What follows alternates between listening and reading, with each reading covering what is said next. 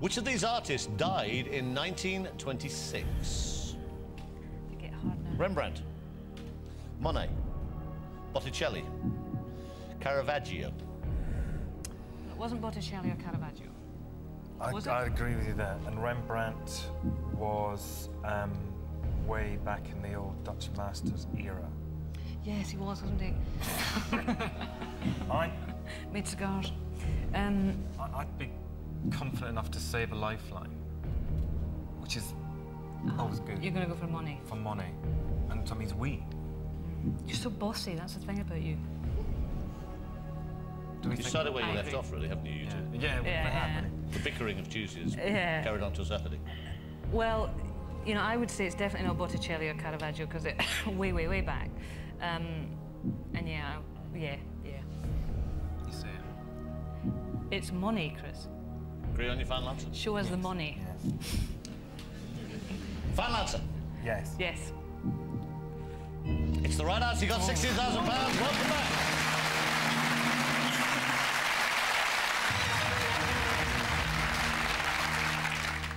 You see, Ross, you'd forgotten, haven't you, how tense it gets. Oh, I, I can't believe how te- when it goes orange like that. I know. I had to stop crossing my hands because my heart's coming through my chest. Okay, you got £16,000, which is great. Have a look, though, at question number 10. You are six away from 1 million. This is for 32,000. In Greek mythology, a puzzle about the three ages of man was called the riddle of the what? Phoenix, centaur, sphinx, minotaur. I haven't a Scooby. We're phoning a friend. Are we? Um, well, let's let we think about it. Wow. If I was to leap in, I'd go for Phoenix. But I wouldn't do that, of course.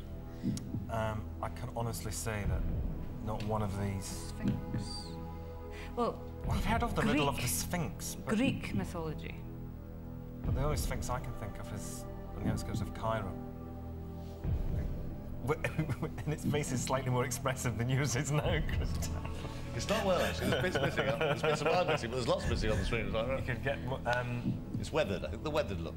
the gap here is so immense for that charity. I just think that we should phone.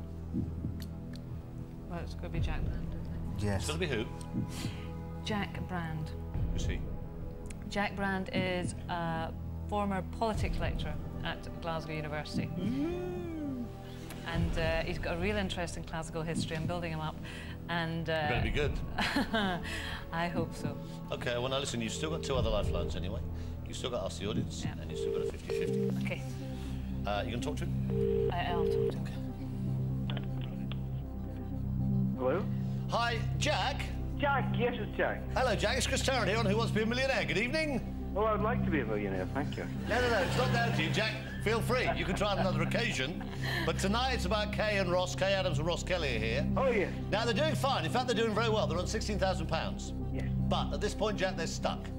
Now, they say you're easily the most intelligent man they know. Well, they must not know very many people, that's the, that's the problem. Jack, next voice here will be Kaye's. She tell you the question. There are still four possible answers. One of these is worth £32,000. Okay. Okay. Kaye, 30 seconds. Good luck. Your time starts now. Hi, Jack. Hi. In Greek mythology, a puzzle about the three ages of man was called the riddle of the what?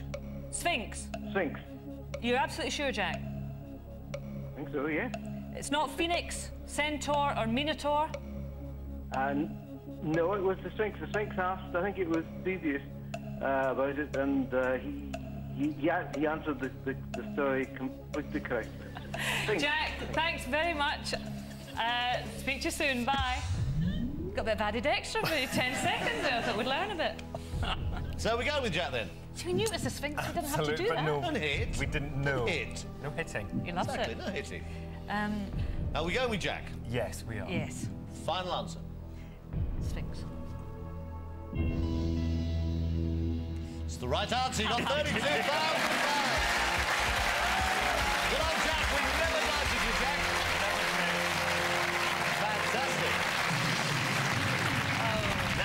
Now, have a look at this. Is what you came for on Tuesday night. Oh, Saturday night, good. you now go home to SNIP with at least that amount of money. Feast your eyes on that have a wee sum. look, Thirty-two thousand pounds. But we don't want to give you that. don't we?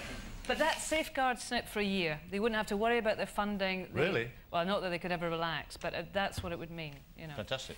Y- It's a great position. You're guaranteed thirty-two thousand pounds. Uh, you've still got a 50-50.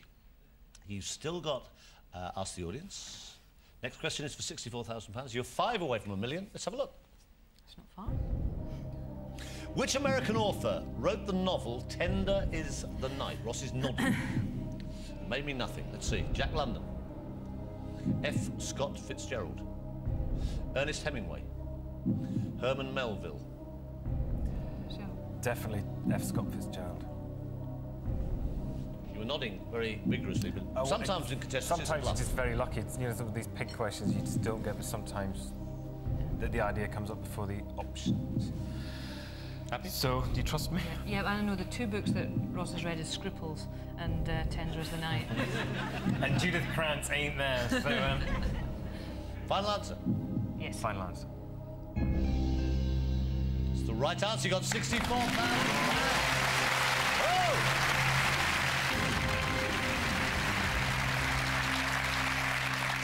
Have a look at this. This is question number 12. It's worth 125 grand. Which of these pop shows was broadcast first? Oh boy. Ready, steady, go. 6 5 special. Top of the Pops. Well, I usually enjoy seeing it's before my time, but not tonight. Um, this might be one we could ask our audience. Do you know they're a bit young and good looking for that?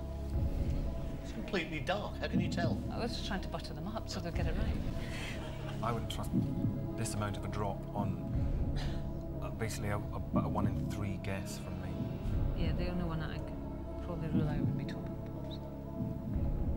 But let's, can we ask the audience? Of course you can. Yeah. Chris. Audience, let's try and get Ross and Kate up to £125,000. Here it comes. This is the question. Which of these pop shows was broadcast first? A, B, C, or D? All vote now.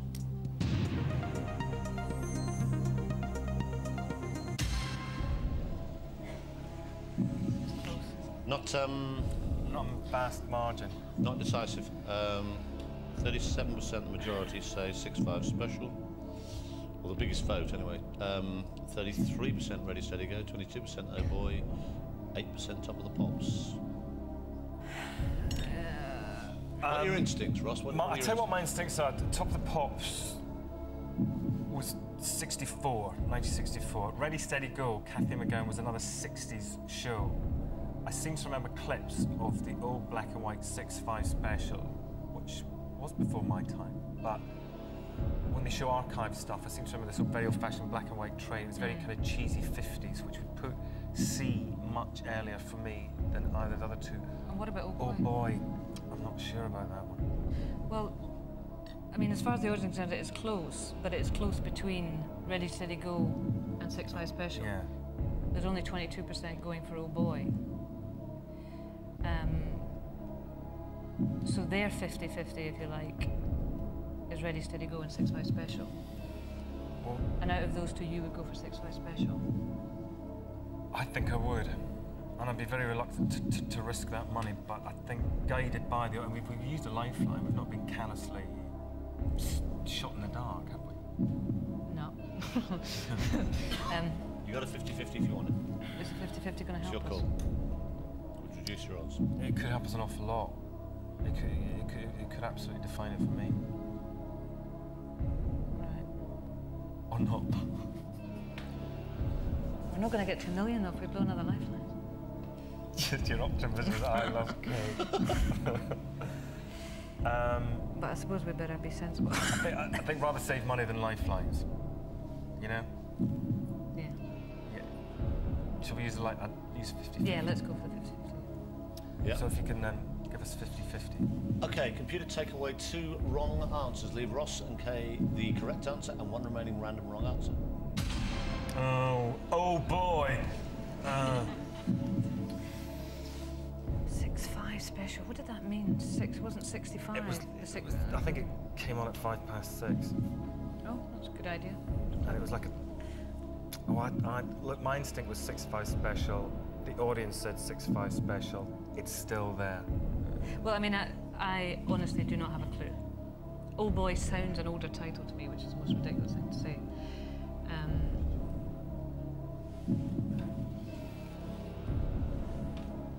It's. tell me again why you think it's Six Five Special. Um, it's not that I, I knew it was the oldest out of all the other ones. The old boy's the one I'm not sure about. Percentage terms, how confident would you be? 60 40.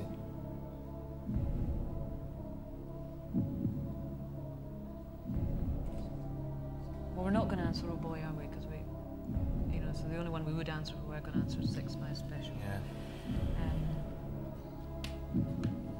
Stating the obvious here. Yeah. Um, um, uh, my temptation is to risk it. As is mine, because I think we've. I appreciate what Chris says that we've not. The fact that this has survived two two lifelines and instinct doesn't make it the right answer, but I, I, six five special is still there for me. I think we'll go for Six Five Special. Up to you. It's your call. Yeah, I think so. Yes, final answer, Six Five Special.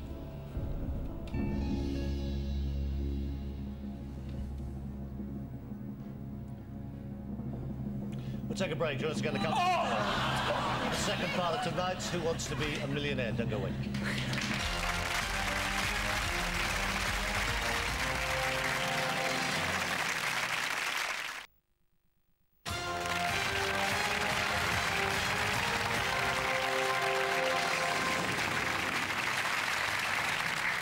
Welcome back to the second part of tonight's Who Wants to Be a Millionaire? It's another charity special. They were playing brilliantly. They got up to £64,000. They still had two lifelines left. They got to this question Which of these pop shows was broadcast first? Oh Boy, 6-5 Special. Ready, steady, go on top of the pops. They got rid of two. The majority of the audience, 37%, not a high majority actually, said 6-5 Special. They went for a 50-50 and reduced it to Oh Boy and still 6-5 Special. They did not have to play this question at all. How do you feel? Thanks, Chris. How do you feel? Um, I th- well, yeah, I think we've got it wrong. But we've done it now, haven't we? Yeah. It's gone orange. It's the right answer. You've got 125,000.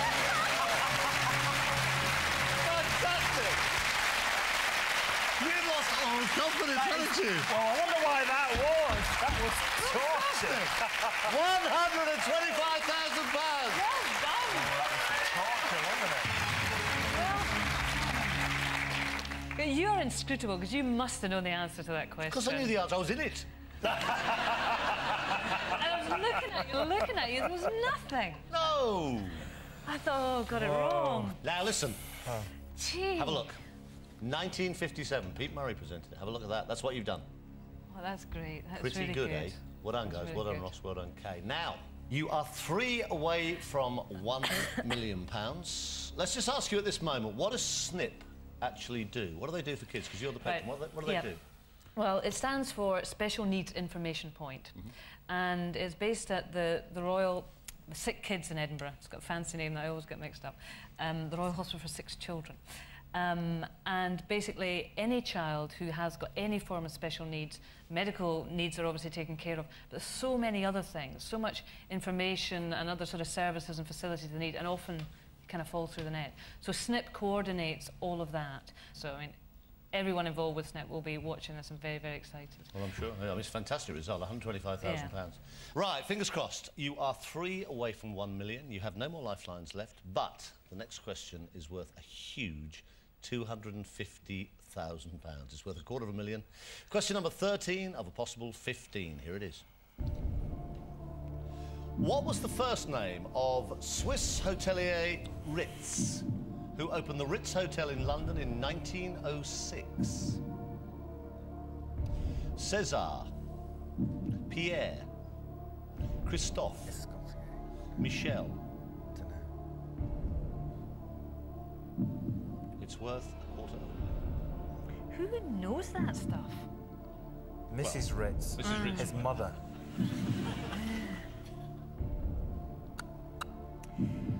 Well, they're all potentially Swiss uh, sort of Frenchy sounding names, aren't they? Michel, Pierre, Christophe. César is the one that stands out. I just don't know, but I just think in terms of, we said if, if we got this far, it would have to be copper bottom before we'd risk that amount of a drop, to be fair. This is your nice way of telling me we've got to stop and go now, isn't it? That would be the diplomatic Yeah. It's up to you. interpretation. You've got 125,000 pounds. If you give me a wrong answer here, You've still got that 32,000 guaranteed, but you drop 93,000 pounds. It's a lot of money to lose for that charity. We will go away delightedly with Very, very £125,000, which is a fantastic Final amount answer. of money. Yeah, Fine line. but we think it's César. Okay, they have been tremendous. Give them a huge hand. 120. You can take it now. 125,000 pounds. Well played. Great result. Yeah, that, that is that is an awful lot of money. Just Um, before you go, if you said to me, Cesar, I'd take that check out your hand and tear it into a thousand pieces, Thank God for that. and I would replace it with one for a quarter. Uh, well, you know, this, that's... Cesar was the right answer. Stop the tape and rewind. Big hand. One hundred and twenty-five thousand pounds. Bless you guys, really good. Bless you. Hey, what place? It's great. One hundred and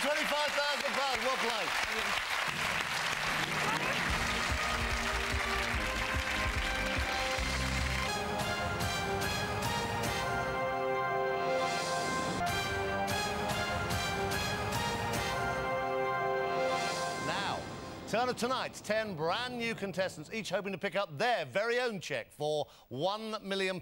Let's meet them. They are Steve Eastman from Hampshire, John Pello from Cornwall, Joss Wardle from Warwickshire, Ines Armstrong from Lancashire, Peter Tedlow from Derbyshire, Paul Tweddle from the West Midlands, Alan Steppard from Lancashire, Denise Sandy from Derbyshire, Eric Fitzgerald from West Yorkshire, and one more, Chris Skinner from Buckinghamshire.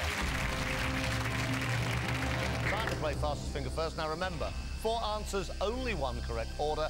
Get the order right in the fastest time, and you'll be next tonight to play for one million pounds. Here comes the first question. Starting with the fewest, put these national flags in order of how many different colours they have. France, Japan, United Arab Emirates, South Africa.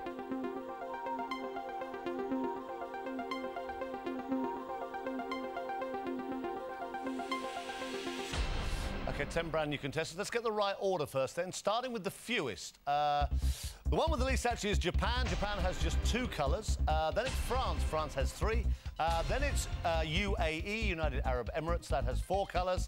And the one with the most is South Africa, that has six colours on its national flag. Now, that's the right order. Probably quite hard for you. 10 star. Let's see how many got it right out of 10. How many got it correct? These were right. Only one. Eric Fitzgerald in 7.24 seconds. Well done, Eric.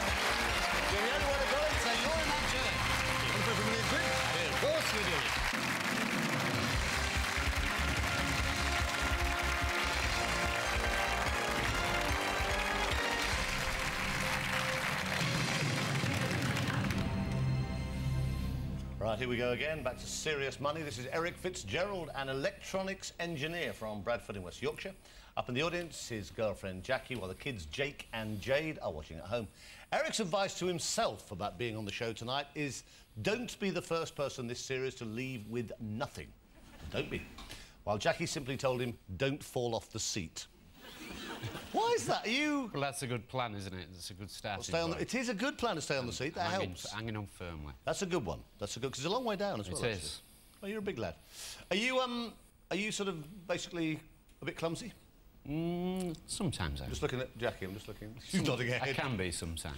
Because I mean, as part of your job as electronics engineer, you do a lot of stuff with TV sets and whatever, Mm. and you have broken one or two.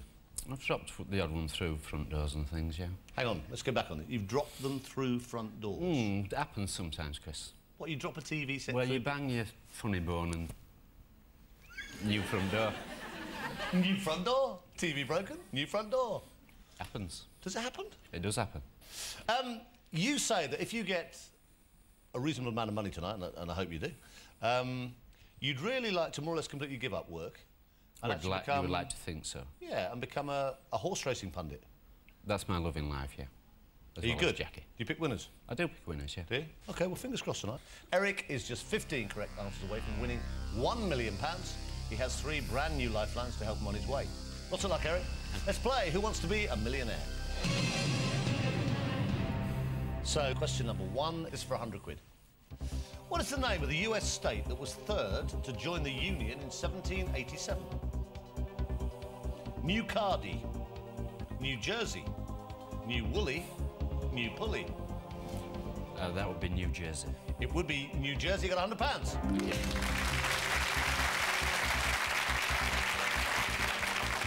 Quite right, Eric. Nobody has gone away this year with nothing at all. Please don't let it be you. I'm sure it won't be. This is for 200 quid, question number two. What name is given to the sleep you need to keep looking young, healthy, and attractive? Beauty sleep, loveliness sleep, glamour sleep, prettiness sleep. That would be a Beauty Sleep. It's right answer. You've got 200 pounds.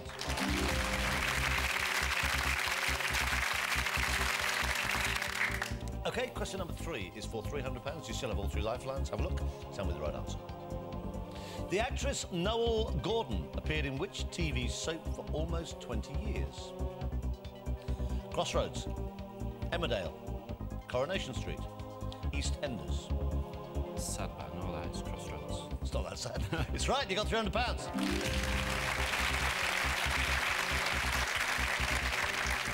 She was uh, Meg, wasn't she? You got 300 pounds. Question number four is for 500. Eric, take your time. You've got all three lifelines. Here it comes. What does the N stand for in the abbreviation CND? Nuclear, nemesis, nutritional, napalm. Be. It's right answer. You got 500 pounds. CND campaign for nuclear disarmament. Right, Eric, you were worried about going home with nothing. You were one step away from guaranteeing yourself at least 1,000 pounds. You have all three lifelines. This is question number five. Complete the title of the Prince single Little Red Chrysler, Corvette, Car, Cadillac. It's right answer. You've got a thousand pounds. We'll play that. No problem at all.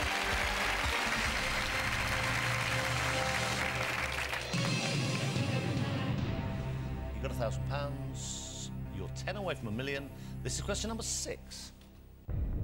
Who won a Best Director Oscar for the film Saving Private Ryan? Martin Scorsese, Steven Spielberg, Brian De Palma, Stanley Kubrick. That's Steven Spielberg. Final answer. Final answer. Absolutely right. You got two thousand pounds.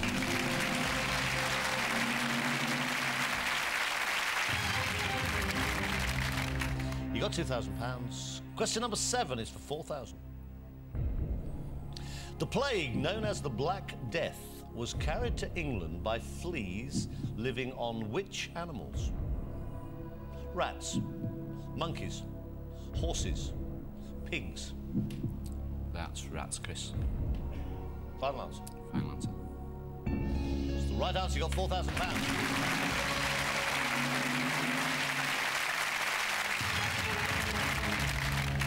You got four thousand pounds. Question number eight is for eight thousand. You still have not touched a lifeline. You're eight away from a million.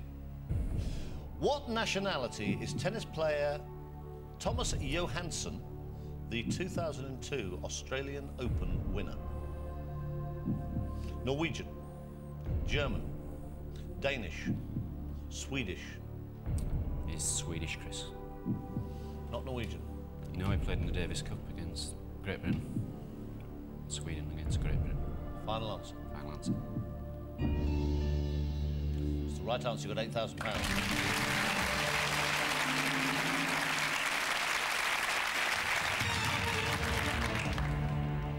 Starting to enjoy this yet?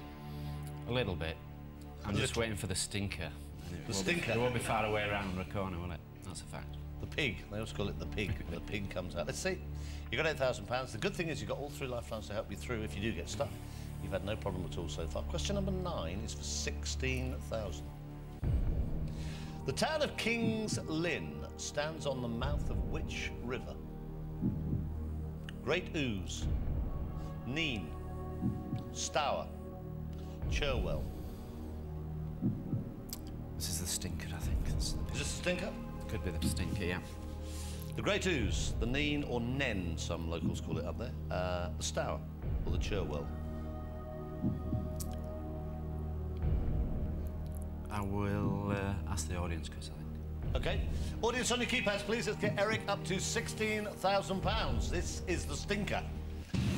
Right, this is the question. The town of King's Lynn stands on the mouth of which river? A, B, C, or D? It's worth £16,000 to Eric. All vote now.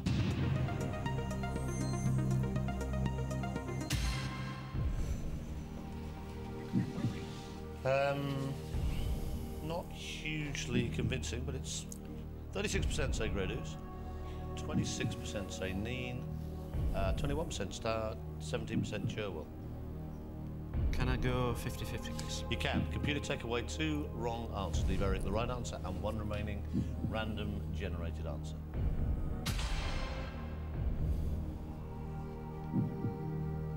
Well, I'm going to take a chance, and I'm going to go Great Ouse. Final answer. Final answer. It's the right answer. You got £16,000.